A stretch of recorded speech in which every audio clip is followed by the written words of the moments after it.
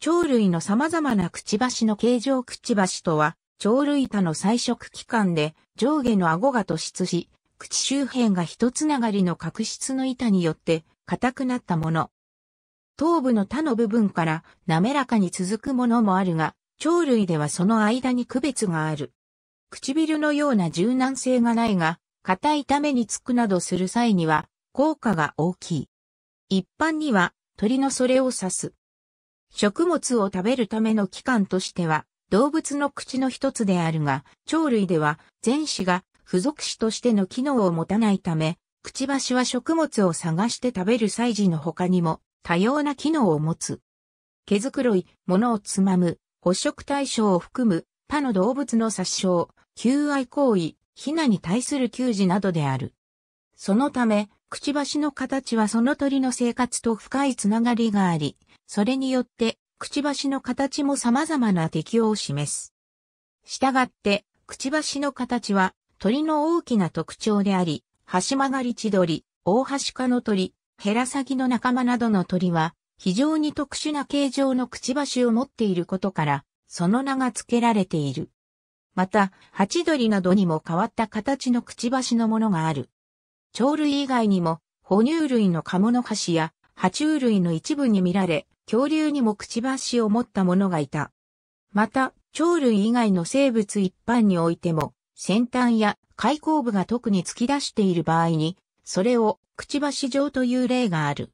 例えばサヨリやダツにおいて、上下の顎の先端が、それぞれ単独に突き出したものをくちばしという。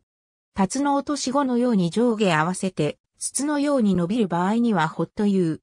イルカにもくちばしがあり、これはイルカとクジラの区別点とされることがある。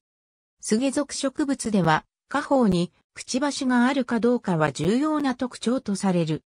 鳥類のくちばしは、種によってその大きさ、形状にかなりの違いがある。飛行するために重量を少しでも軽減するため、通常は中空もしくは多孔性の骨でできている。くちばしの表面は薄い角質で覆われており、表面と骨の間には血管と神経の通った層がある。ガチョウや白鳥の一部には、くちばしの上にコブがある場合がある。くちばしには、鼻腔と呼ばれる二つの穴があり、それらは呼吸のために、くちばしの内側へと通じている。また、赤星インコなど一部の鳥には、上くちばしの根元に、老膜と呼ばれる柔軟な肉質の部分が存在し、鼻腔はそこに開いている。一部の鳥は、くちばしの先が非常に硬く、大きな音を鳴らしたり獲物を殺したりすることなどに使われる。